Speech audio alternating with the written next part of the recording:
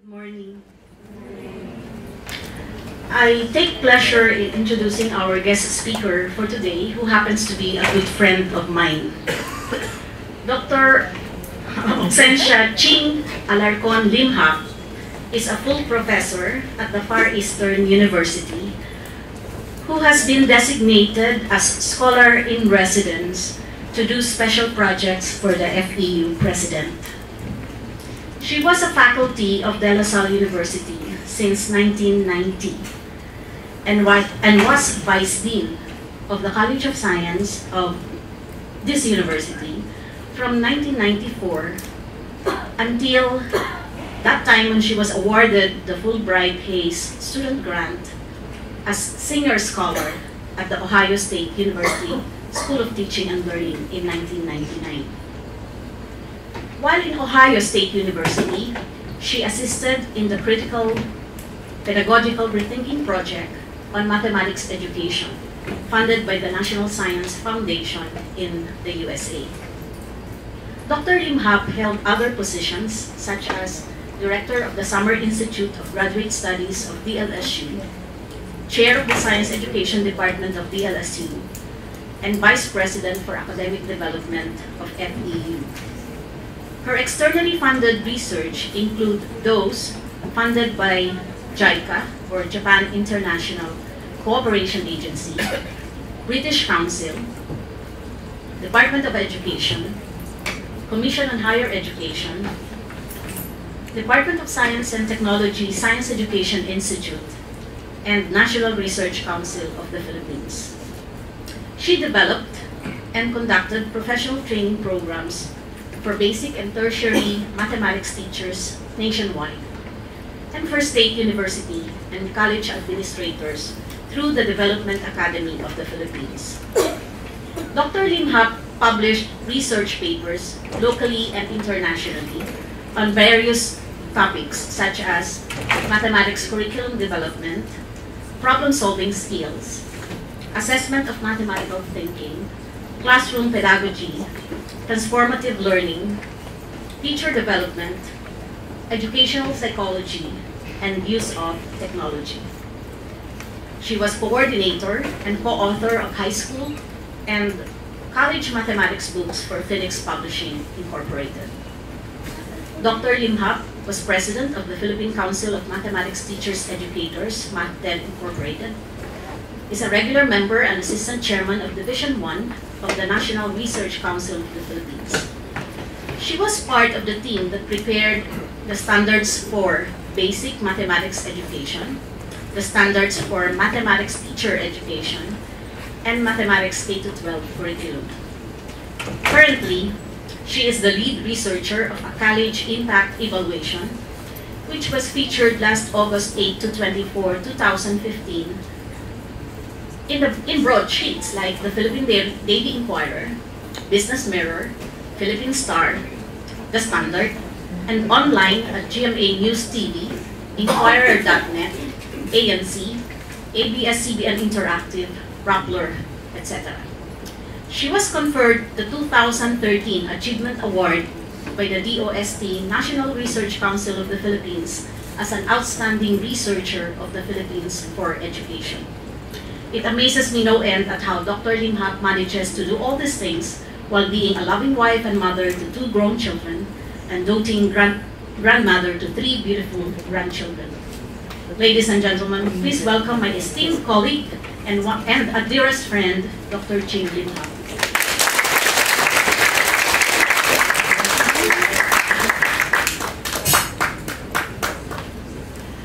Thank you, Dr. Arlene, for that kind introduction. Uh, good morning, ladies and gentlemen. It's a pleasure to be back home. This is uh, a homecoming for me.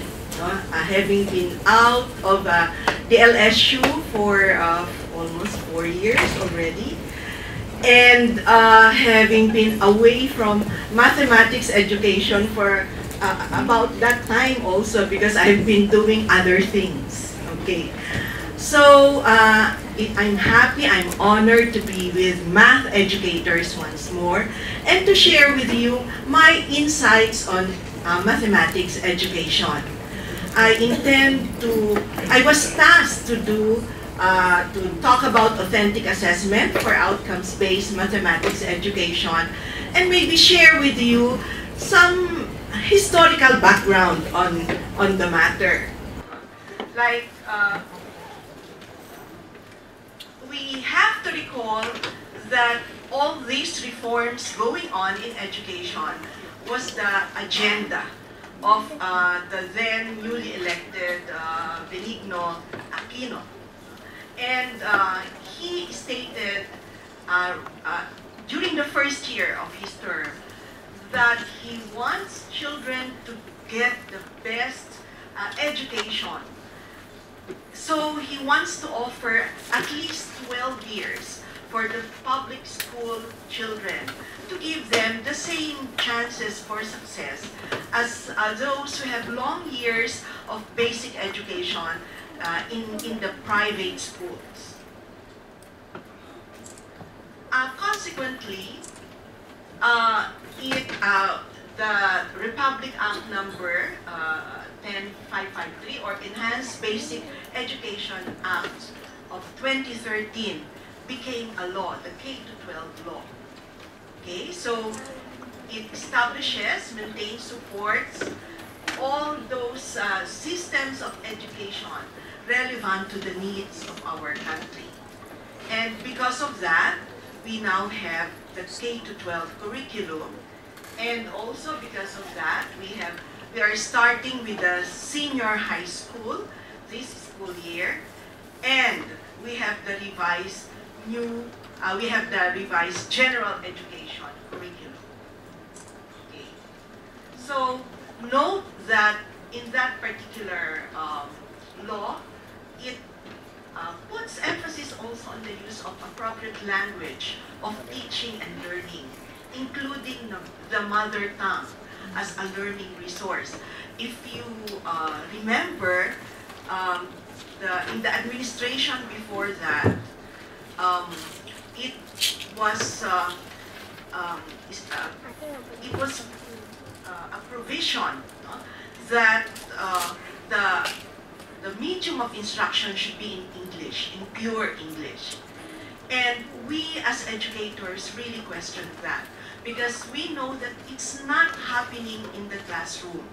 Go to the classrooms and you will hear uh, the use not only of Filipino but also of the dialect in the classrooms because it's the only way to interact with the students to make sure that they are learning in a meaningful way. Now, uh, allow me to share with you one experience I had uh, with a public, a public school where I was there to do a research for the British Council. Actually, what the British Council research wants to find out is how much respect we give to the first language of the students. But of course, of course the, the school doesn't do that. The school just knew that I was there to observe classes. So what I found out was uh, very surprising. I was in a grade 1 classroom. And from the start of the class, the teacher was speaking in pure English. She showed a poster no, with pictures and asked the students, how many bananas are there? And the students answered in chorus, there are five bananas. How many mangoes are there? And the, in chorus again, the grade one pupils answered there are three bananas and three mangoes. So how many fruits are there all in all? And in chorus they said 5 plus 3 equals 8. So the teacher said there are 8 fruits. How else can you express the number sentence? And in chorus again, the grade 1 pupil said 3 plus 5 equals 8. And why do we, uh, why can we do that? Why is uh, 5 plus 3 equal to 3 plus 5? And in chorus, the grade 1 pupil said commutative property of addition. And I wanted to fall off my seat.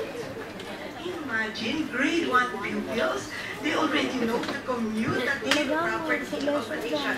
And I, I was telling my graduate students, you be careful with the grade, grade 1 pupils. Huh? You should know the laws of operations because they already know the commutative property of addition. And it was in pure English the whole time I stayed in the classroom.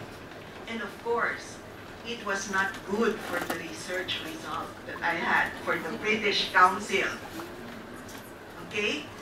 Um, so, I am glad that in this K-12 law, this particular uh, aspect of education, the language aspect, was mentioned, it was emphasized.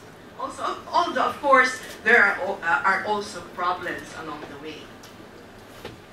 And so, instead of the 10-year basic education program, now the uh, government is spending for uh, one year in kindergarten and then 10, 10 years the basic education plus two more years for the senior high school. We also have to know that we are member of the Association of Southeast Asian Nations, the ASEAN. And uh, because of that, uh, you, you must uh, be aware of the fact that we want to establish stronger ties with them. We wanted, we want a strong ASEAN uh, organization. And uh, so the ASEAN community wants to facilitate the free flow of qualified labor in the region. We want to establish a system of comparable qualifications, degrees and diplomas across the Asia-Pacific region, thus the APEC in 2015. And we have, we want internationally agreed upon frameworks and mechanisms for global practice and profession. And, and so, because of that, uh, because we are the only country in the ASEAN that has a 10-year uh, basic education program, we needed to add two more, two more years to our basic education. And uh, consequently, we have the new general education curriculum for the tertiary education, which consists of uh, 24 units total. Uh, you have uh, uh, eight courses. And uh, among those eight courses, our focus, the focus of this lecture series is the mathematics in the modern world. Okay. Going back to the uh, educational system, we can look at it in this way. We have input, we have process, we have, we have outputs. And there should be learning outcomes. Okay. So what goes into the system? The student background. Uh, so that is what they carry with them, the student background. And allow me uh, to give you some advertisement. This is what we are trying to look into in the college impact evaluation that we are doing in Far Eastern University. That particular research which caught the attention of the media because we're looking at not only at the demographic profile of the college freshmen, okay, but also what they bring with them, their beliefs, their aspirations, some opinions, their dreams, okay, the activities they do, and so forth and so on. Okay, so it will be always good to find out who our students are.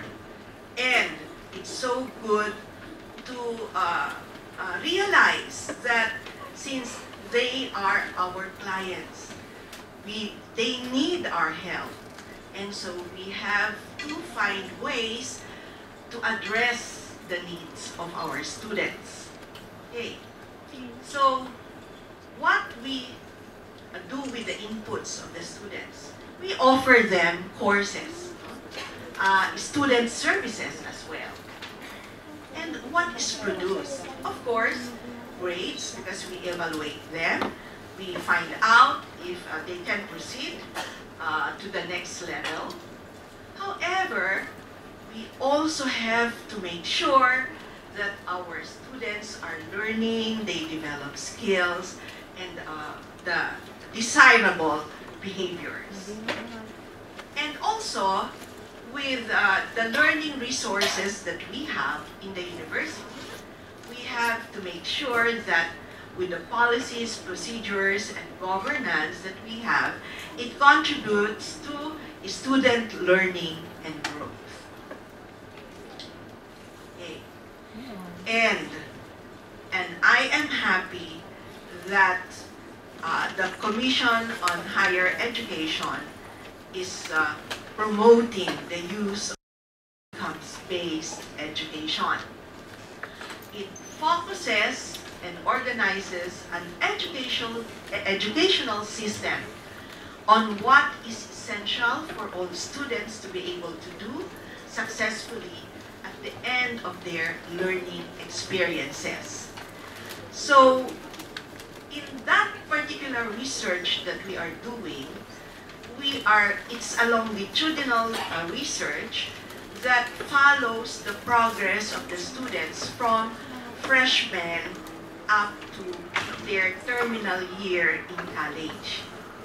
Thus, uh, so, uh, because uh, it involves thousands of, uh, of uh, students, no, participants of the study, we are doing survey and uh, it's we have uh, the freshman survey. Uh, we are on our second round, so we have the sophomore survey, and hopefully, uh, on their last year in college, we will, will be able to have uh, the, shall we say, the terminal uh, survey as they as they leave college, and from there we will be able to determine the impact of college the college experience to them as a person, as an individual, as a citizen of our country. And uh, we also look at their employability, not only in the local market, but also in the international market. Okay. And we are glad that there is this outcomes-based education that ensures that our students are learning and progressing in meaningful ways. It starts with a clear picture of what is important for students to do and organizes the curriculum, instruction, and assessment to make sure learning ultimately happens. So it's not an approach, but it's an educational system. You can say it's an approach for an educational system because it encompasses uh, not only the curriculum, instruction, and assessment, but also the goals, the institutional goals that are set by uh, our uh, schools. In our case, the higher education institutions. Okay. So, this is what the OBE is about. You have to identify the institution's vision, mission, the goal, the outcomes, the competencies of HEI graduates, the program outcomes curriculum map, the standards and demands, the benchmarks, the social environmental context, until we are able to identify the design we should do for the courses. For the course design, we should be able to identify the learning outcomes, the learning environment, the content and methodologies, the learning systems, and then the assessment and evaluation. Now, for my illustration, I want to make use of what the uh, De La Salle University experience, I mean, has done in this, uh, with this regard. Now, um, I'm using De La Salle University because um, I was part of uh, the one that um, uh, prepared this document for the uh, whole framework of the De La Salle University. And uh, allow me to share it with you.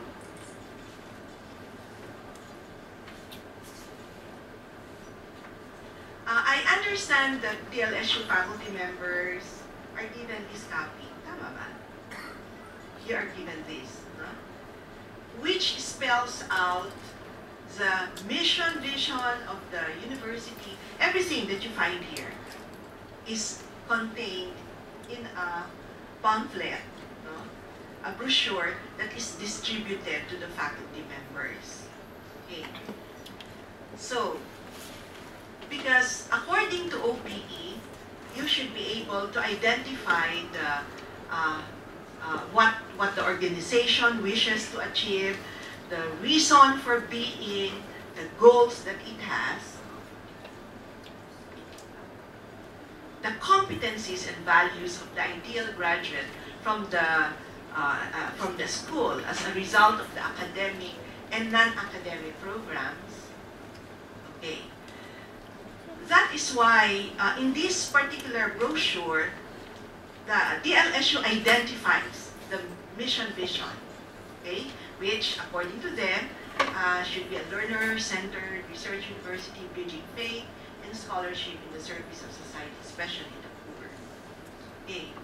It also identifies the core values of faith, service, communion, communion uh, that is building a community of uh, leaders, competent professional scholars, researchers, entrepreneurs who participate actively in improving the quality of Philippine society within the perspective of Christian ideals and values. Okay. Now, this same brochure identifies the expected Lasallian graduate attributes competencies that our graduates should have. Wherever they go, they should demonstrate this. Critical and creative thinking, effective uh, communication, lifelong learning, service-driven uh, citizenship. So these are the uh, qualities, desired qualities of uh, the graduates of De La Salle University. And they are uh, articulated in this brochure. Now, as I mentioned, OBE is an educational system that organizes the whole program into a curriculum, instruction, and assessment that focuses on what students can actually do after they are taught. Now, also in, in this brochure, it has, uh, it spells out a framework for teaching and learning, which is called the Lasallian Pedagogical Framework of Transformative Learning. Okay. So in some, uh, in, in some parts of this, it talks about the traditional uh, pedagogy and it, the, the De La Salle University's movement to the learner-centered pedagogy. It says that the view on knowledge has been changed. When before, knowledge is information that should be acquired by the students. Now, in the LPF, or Lasallian Pedagogical Frameworks, this says that knowledge should be a result of students' inquiry, action, or experimentation. So students should be the one to construct their knowledge by doing some exploration, investigation. Of course, it starts with an inquiry, some questions that they should be asking. Now, when before the teacher is the primary source of knowledge, in this brochure, it says students should be able to identify questions and develop some inquiry plans with the help of the teacher. And the teacher should, uh, of course, encourage the students to ask those questions uh, about uh, the knowledge they want to learn and uh, explore ways of doing that by uh, looking at multiple viewpoints, interacting, collaborating with one another. Okay. When before, a good lecturer is an effective teacher, now uh, in this LPF, they want teachers to be able to set the learning environment for collaborative inquiry, self-assessment, and reflection. When the lecture format was uh, deemed uh, good, the, uh, was preferred, now it creates uh, an atmosphere that encourages critical and creative thinking, expression of a variety of viewpoints. Now for tests, when before, it's uh, usually uh, factual and procedural, now we want to find out the cognitive growth that has taken place while doing the course in class. So maybe they may use conceptual representations or problem solving. Okay. Now, for the program outcomes in the OBE. Now, uh, the program outcomes should be able to identify the competencies in that particular subject or course. But those competencies are identified with the help of KSA, knowledge, skills, and attitudes. So, uh, what sets of competencies will learners demonstrate at the time of graduation from the program, to what extent will each in, uh, intended outcome be taught and assessed in the program, and then uh, how can it be developed uh, progressively, the uh, proper learning environment, the teaching learning systems, support processes, procedures required to achieve the desired outcomes. Okay. Now, I looked at the syllabus of the math department, and uh, I think I already have the permission of the math department to present this. So these were some of the um, program goals that they identify. in that uh, particular syllabus on mathematics in the modern world. Okay. So it's about lifelong learning so that they will be able to keep abreast of the developments in the specific field of practice. And I'm sure you saw, uh, you saw in the lectures you had yesterday how uh, relevant the use of mathematics is in the developments that are taking uh, taking place in our society. Okay, so uh, communicate effectively through oral and uh, in writing uh, using both English and Filipino. So we do not uh, discourage the use of Filipino. Uh, if the students can learn better with the use of Filipino, uh, uh, then we allow them to express themselves in Filipino.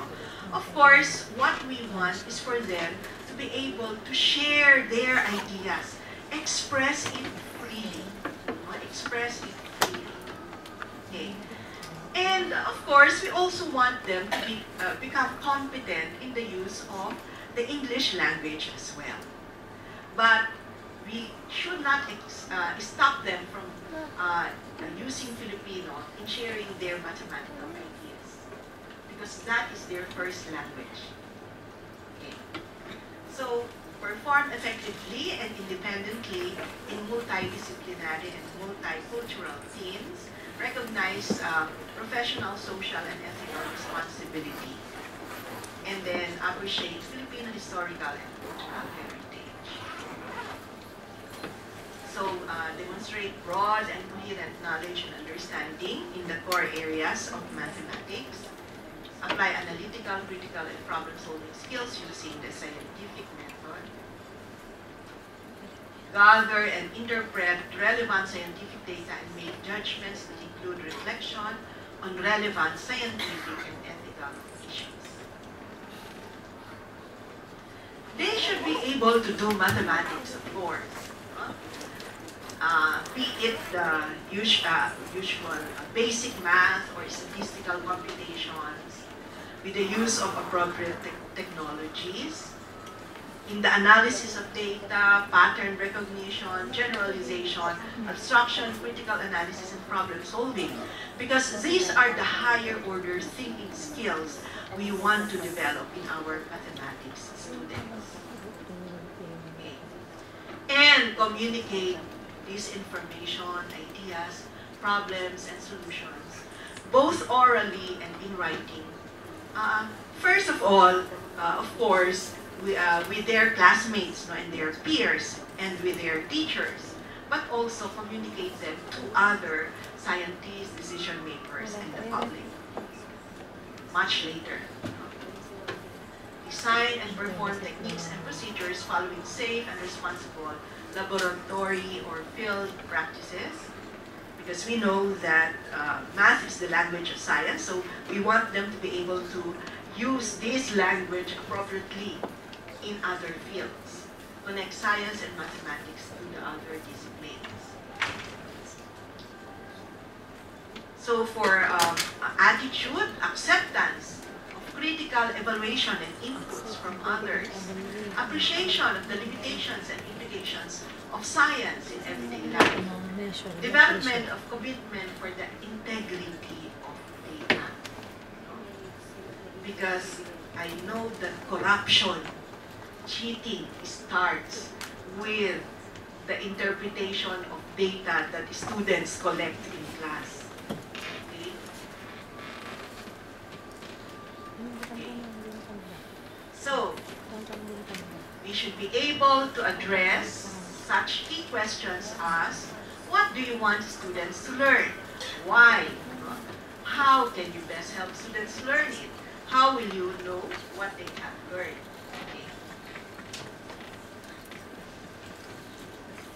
Allow me to again go back to some historical account of the evolution of the outcomes-based uh, education. We go backward, no? The backward design. Uh, I'm sure you went through some training on the use of understanding by design. Am I right? Yes, ma'am. Yes. Who are familiar with UBD among you? Uh, will you please raise your hands? Ano, sino ka? UBD, understanding by design. Huwag na kayong mahiya. okay. So, what about the others? Did you go through some training? Did you use this before? Tawag, Hindi masyado. not much. But you heard about it, right? Yes, by the under, uh, understanding by design. Because it was prescribed, especially in basic education, by the Department of Education.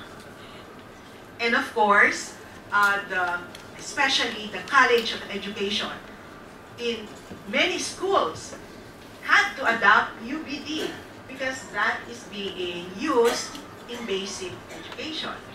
Okay. No, I just want to point out the similarities of the outcomes-based education with the understanding by design.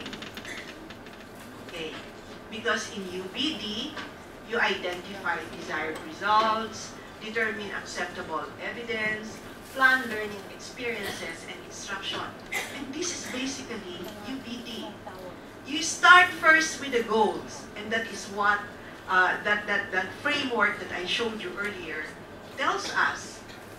Then you have to determine the evidences, assessment uh, instruments, the evidences for learning before you even proceed to plan your instruction. So that is what being backward is. Why is it so? Because according to UBD, we should be able to identify first uh, what students should know, the facts, basic concepts, um, uh, procedures, skills, know what skills and discrete procedures students should master. We should be able to identify that first, because these are the desired results. The understandings, the big ideas that they should understand, and uh, maybe the possible misunderstandings, and the essential questions, the thought-provoking questions that will foster inquiry, meaning-making, and transfer. We should be able to identify that. Okay? Because learning is about acquiring information, certain skills and procedures, and making meaning out of it. Then, students should be able to transfer those knowledge and skills according to UBD. Okay. And uh, students should be able to independently use those knowledge and skills to be able to do on their own uh, with the use of their learning what that long-term transferability is desired by the course. Okay, now, uh, and in fact, we have this particular template. Okay, for that first stage, what should be the standards, content standards, how well should students do it, and make sure that all these are aligned to content standards, performance standards, transfer goals, understandings, essential questions, and so forth. This is exactly the reason why UBD became unpopular. Huh? Why? Because of this template. It's so difficult to fill up. Okay? It's so difficult to distinguish what content standards, how different it is from performance standards, how different the transfer goals is from the understanding, and so forth and so on. Okay. What else did UBD teach us? There is a stage two for the evidence. And we should be able to uh, give, uh, determine the, the, these uh, transfer tasks. We have to check for alignment. Uh, students should be showing their learning by using these evidences. Uh, what will you collect to assess understanding, knowledge, and skills? Uh, what uh, evidence will provide valid and sufficient measures of all the goals that you stated, and then criteria to be used to evaluate attainments of desired results. Okay.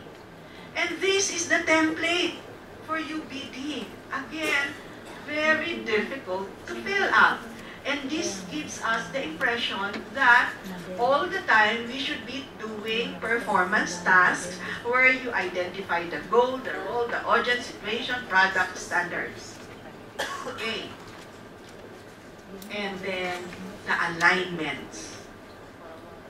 Now, of course, we know that the goals and the assessment should be aligned. The reason why we are assessing learning is because we want to find out if we were able to achieve the goals. Okay. But then, with this template that is so difficult to fill up, then, again, it turned off our teachers. Next, the learning plan. Okay, again, another template. Where are your students headed? How will you hook them? Uh, yeah, experiences uh, and uh, uh how they were, will uh, explore the big idea and then uh, how will they reflect and rethink, exhibit self-evaluation, tailor the, the learning plan to optimize the engagement and, and effectiveness of all students, organize and sequence the learning activities. Again, this, is, this was very challenging for the teachers. Because, again, we have to make sure that all three stages are aligned. But, as I mentioned before, of course, we have to make sure that the instructional strategies that we use are effective in achieving the goals that we set. And thus, all three, the, the, the desired results, no? the goals that we set, and then the assessment that we do, and the instruction, the strategies that we employ should be aligned. Okay.